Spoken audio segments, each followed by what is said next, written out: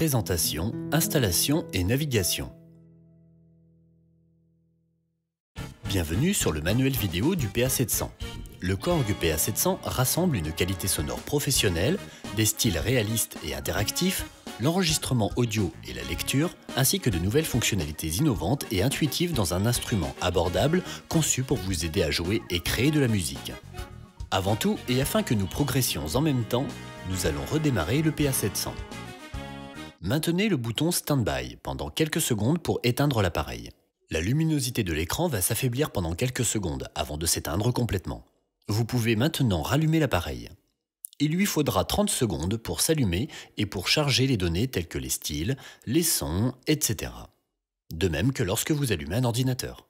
Dans ce manuel vidéo, nous parlerons des fonctions principales de votre PA700, de manière rapide en raison du grand nombre de fonctions disponibles. Cependant, ces explications devraient vous suffire pour commencer à utiliser votre instrument. Nous vous conseillons de regarder l'intégralité des chapitres dans le bon ordre une première fois et de mettre pause si nécessaire, puis par la suite de revenir sur des chapitres en particulier. Pour obtenir des informations approfondies, veuillez consulter les manuels PDF du PA700 disponibles sur le site internet korg.com. Sachez que le PA700 oriental est disponible en plus du PA700. Cette vidéo s'applique aux deux modèles. Ne vous inquiétez pas si les styles et les sons de votre appareil et de la vidéo sont différents ou organisés différemment. Ceux que nous utiliserons dans la vidéo ne constituent que des exemples. Si l'on vous demande de sélectionner un style ou un son en particulier, et que vous ne le trouvez pas ou que le nom diffère, sélectionnez-en un autre et continuez à suivre la vidéo. Bien, voyons maintenant comment naviguer dans l'interface. Ces boutons Mode donnent accès aux quatre fonctions de base du PA700 jouer des styles, jouer des morceaux, créer des morceaux, jouer et éditer des sons individuels. Pour le moment, réglez-le sur le mode Style Play.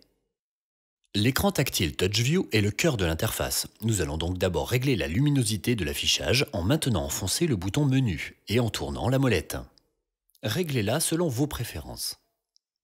L'instrument retiendra ce réglage jusqu'à ce que vous souhaitiez le modifier. Il s'agit de la page principale du mode Style Play. Chaque mode comporte plusieurs parties d'édition pouvant être sélectionnées en appuyant sur Menu. Les parties d'édition disponibles apparaissent sur l'écran. Il vous suffit de toucher celle que vous souhaitez sélectionner. Par exemple, Mixer Tuning. Au sein de chaque partie d'édition, vous trouverez plusieurs pages pouvant être sélectionnées grâce aux onglets en bas de l'écran. Rendez-vous à la page Volume Pan. Un paramètre peut être ajusté de différentes manières. Premièrement, en touchant le paramètre que vous souhaitez ajuster et à l'aide de la molette Value. En touchant l'écran puis en glissant votre doigt de gauche à droite et de haut en bas pour régler la valeur. Ou en sélectionnant un paramètre deux fois, un clavier tactile numérique apparaîtra et vous permettra de taper la valeur souhaitée. Vous aurez parfois à cocher ou décocher des cases en touchant ces dernières. En appuyant sur le bouton Exit, vous retournerez toujours à la page principale du mode dans lequel vous vous trouvez. En touchant ce triangle en haut à droite de l'écran, vous pourrez faire défiler le menu de la page, tout comme le menu déroulant d'un ordinateur. Vous y trouverez toute une variété d'options relatives à cette page. Vous pouvez soit toucher celle que vous voulez, soit simplement toucher n'importe quel endroit en dehors de ce menu de la page pour la faire disparaître.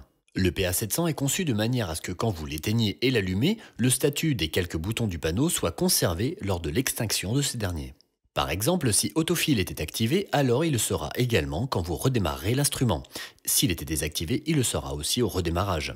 L'instrument sera donc réglé à votre goût dès que vous l'allumez.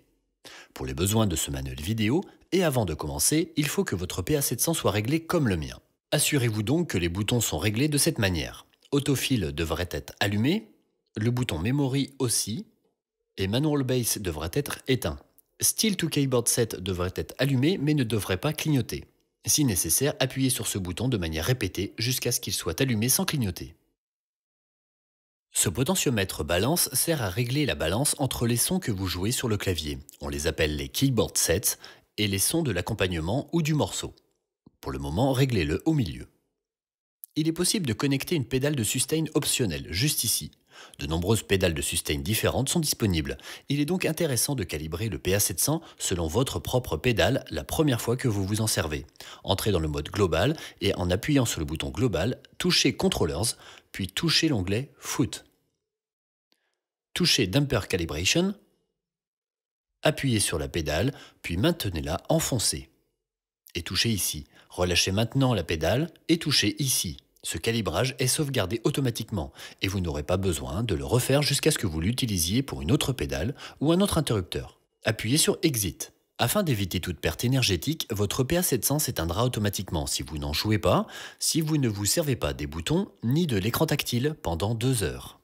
Veuillez sauvegarder vos données en fonctionnement, par exemple les keyboard sets, les styles, les morceaux, etc., avant de prendre une pause prolongée. Cette fonction peut être désactivée. Nous verrons cela plus en détail dans la partie globale, médias et mise à jour.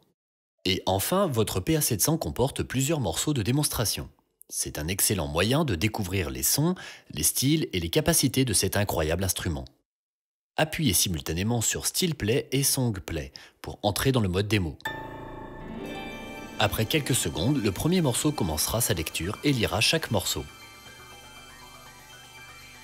Vous pouvez passer à un morceau en particulier en le sélectionnant à partir de l'une de ces trois catégories Songs, Sounds ou Styles.